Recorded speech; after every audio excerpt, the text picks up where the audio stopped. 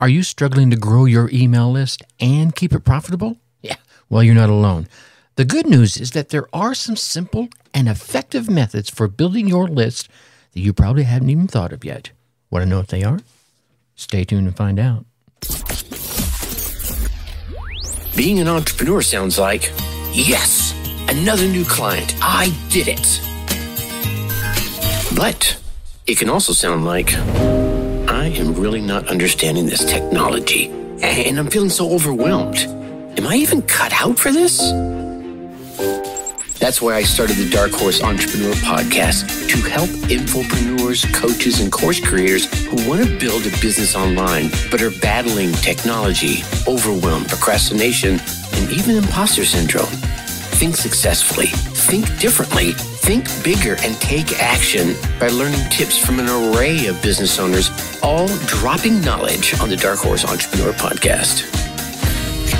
Check us out at www.darkhorseschooling.com. What is up? What the heck is up, my Dark Horse friends and family? Let's get right into it. Here's a question for you. And obviously, I just started you off. We're going to be talking about some email here. And if you're an infopreneur, a healing coach, a course creator, or a service based entrepreneur, I believe you already know that growing and maintaining a profitable email list is essential for the success of your business. But how do you keep your list growing and engaged? Well, you know what? I'm going to get to that in a moment. Let's go for the other side of it. Let's say you have an email list. You already know that uh, you have to continually add new subscribers to keep that list profitable, right? Yeah. I can feel you shaking your head out there. Now, while some customers will buy from you forever, and God, you have to love those folks the most, right? Others, they're not going to buy at all. And others, they'll buy today, but not tomorrow. Or they change their email address. Or they just simply lost interest. Yeah. The good news is there are some simple methods for building your email list that you probably haven't thought of. Yeah. I searched high and low online to see what the email experts out there are saying about building an email list faster. And to my astonishment, I realized that there are several things I should have been doing all along. Now, I want to share those things with you. Now, I've gone and started implementing some of those techniques, and I've already seen the results in my email list. So, I want to share those with you, as I just mentioned, and drop the email value bombs because maybe if you aren't doing these, you can start seeing some of the growth that others have seen, myself included. So, let's get to the start here. Number one, encourage subscribers to forward your emails. What? Yeah, right? How simple is this one?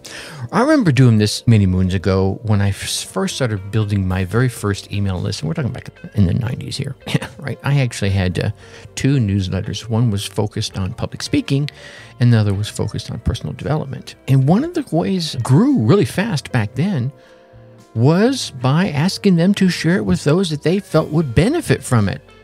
Wow.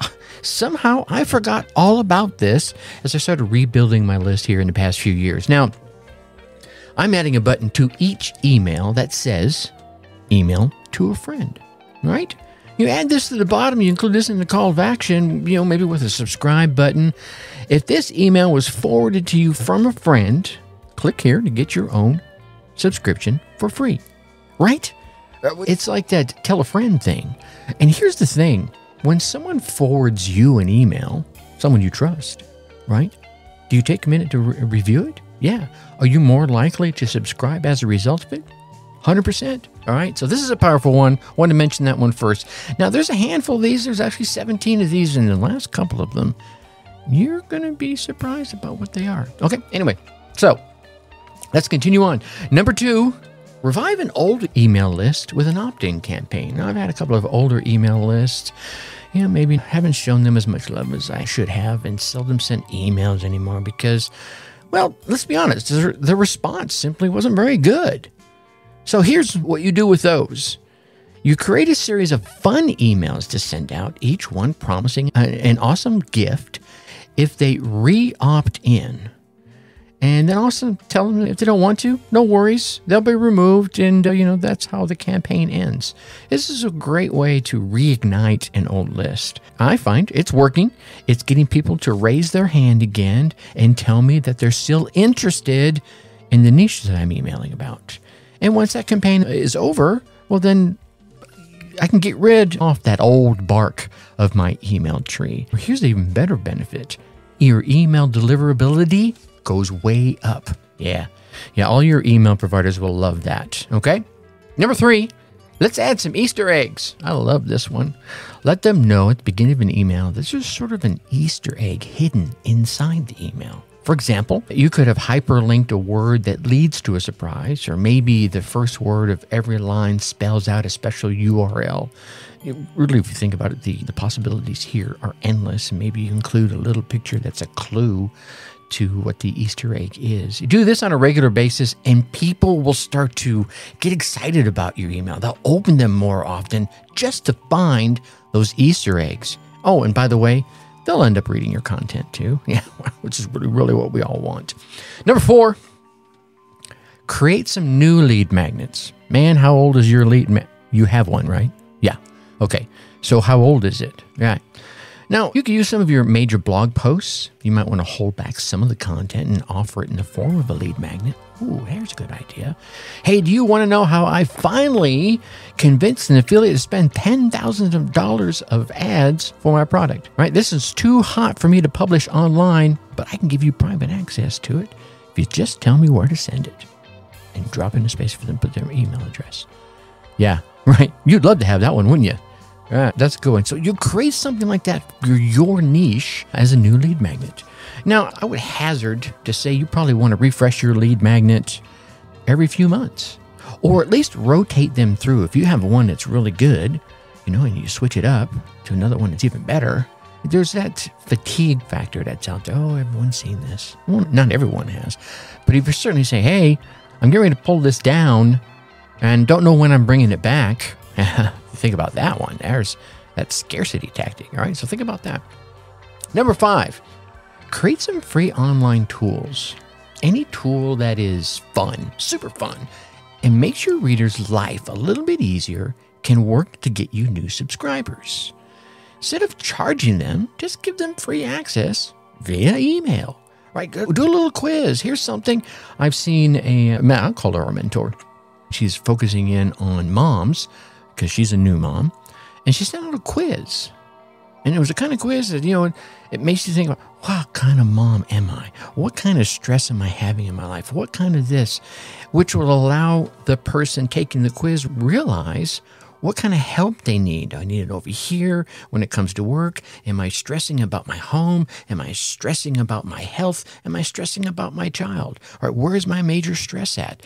Which allows her, as a coach, a new mom coach, focus in on where they need the help. And it allows the person receiving the email to realize, oh, wow, this is where I need the help. All right. So create these free online tools. Number six, just create some unique email content. Well, this one almost goes without saying, but I'm going to say it anyway. If your emails are entertaining and informative, and like those Easter eggs, then people will look forward to receiving them and even reading them. I have a gentleman whose podcast I haven't listened to in far too long, and I started listening to it many moons ago.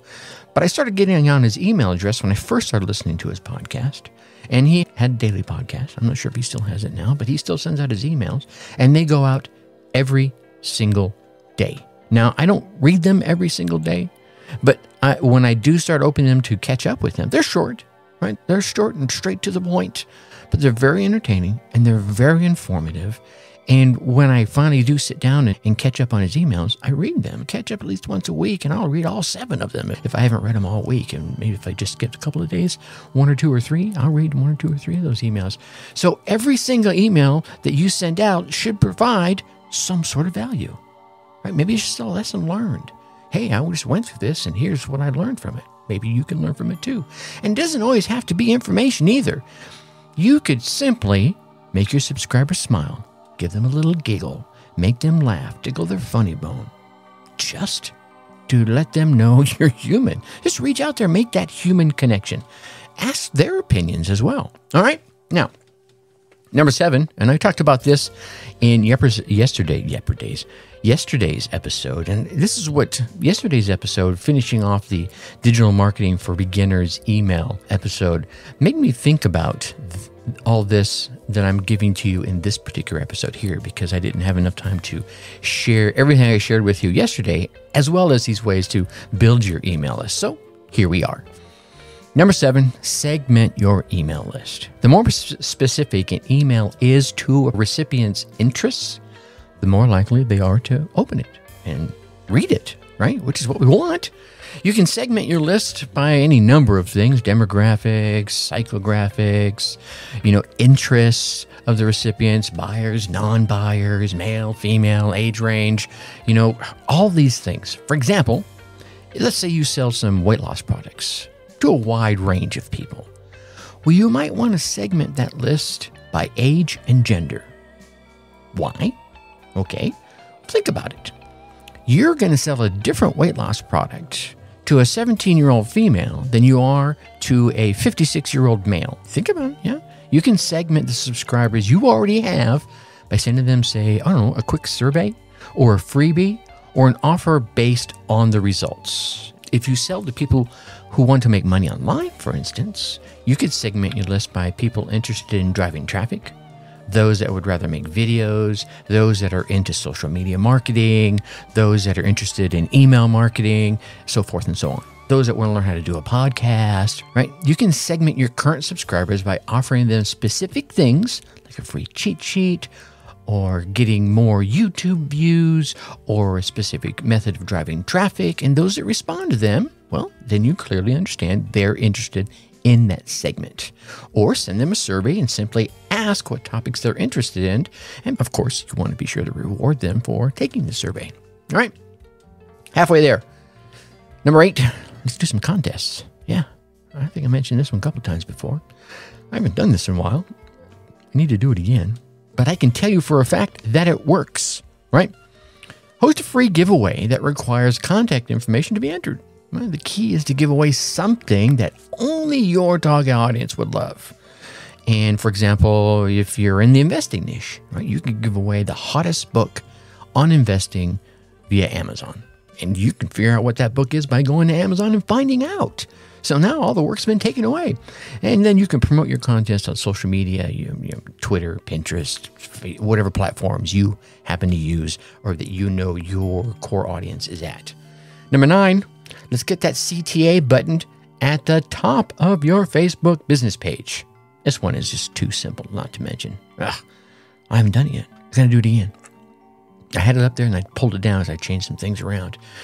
Eh, what's really nice about this one is you do it once and you're done, right? Just add the call to action button to your Facebook page and it takes visitors straight to your landing page. Offer them something special while you're there and they will opt in. There you go, easy peasy. Number 10, sharing newsletter previews via social media. This one made me think for a minute because I'm getting ready to launch a newsletter. And here's what I'm going to do. Here's a little clue for you guys. You're my podcast fam, right? Is a lot of the content that I'm turning into a podcast. What I'm going to do is I'm going to go out there and I'm going to do the research and build the content. And I'm going to release it on the email version, the newsletter version first.